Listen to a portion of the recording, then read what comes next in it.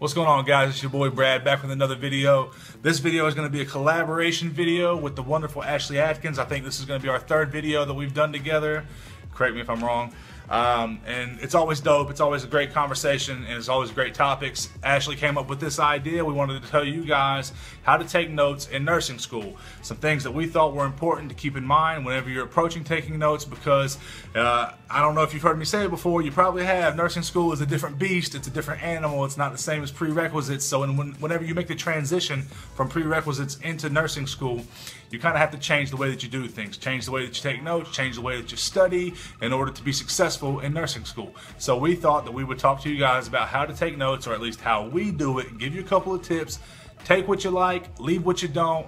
I hope it's helpful, guys. Let's go ahead and get into it. Nurse Bass rocks. So there's two ways that you can go about taking notes, which is quite obvious. It's going to be common sense. One, you can either do it with a piece of paper and a pencil, or you can do it on a laptop, whichever way you prefer. Me personally, I prefer doing it on a laptop. Uh, if you watch one of my previous videos, I'm talking about whenever a teacher's lecturing, they could be, you know, going on PowerPoint, however they might do it, and it's like one slide after another, bam, bam, bam, and they're just firing off at the speed of light. And if you got a piece of paper and a pencil, it's kind of hard to keep up. However, if you're on a laptop, you can keep up, you can get down the important things that they're talking about, and uh, keep it moving. But if you prefer piece of paper and pencil, and ain't nothing wrong with that.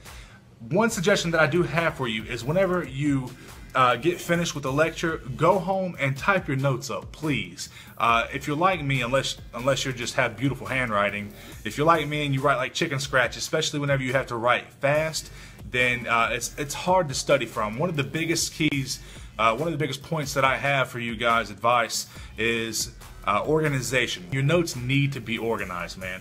So if you prefer a piece of paper and pencil and you don't type them up, highlighters. Highlighters are a great way to do things. You can highlight keywords that uh, are in your notes, highlight definitions, highlight topics. I'm going to give you uh, an example right here of a highlighted notes.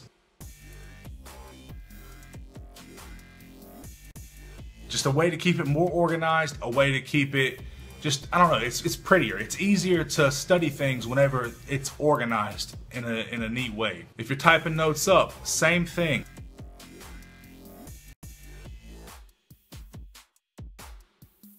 Uh, make it nice and organized. Have bolded headings, bolded, uh, you know, definitions, whatever it might be, whatever is more aesthetically pleasing.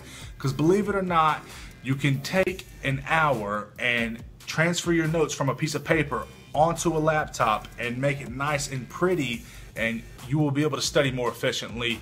Guarantee that one, son. Write that one down, make a note of that, and make sure you highlight it.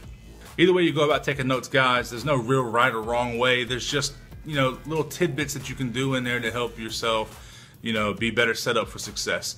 The organization is my big take-home key. Whether you're writing it down on a piece of paper or whether you are typing it up on a laptop, take the extra time just to make it look nice. So guys, I hope these tips helped. Uh, you know, I know it's kind of a short and sweet video. I hope it helped. Make sure you check the description and go listen to Ashley Adkins' advice that she has for note taking. After all, this was her idea, and I'm sure she's got something better for you than I do. And I hope she doesn't hate me for this because she hasn't publicly announced it yet on her YouTube page, but she just passed the NCLEX. You didn't hear it from me? Go congratulate her. And that's all the more reason that you should definitely check out her video because she's been through nursing school and she's passed it. So go check her video out. Thank you for taking the time to check mine out. Be stay tuned for the next video I drop. I'm done, man. Peace.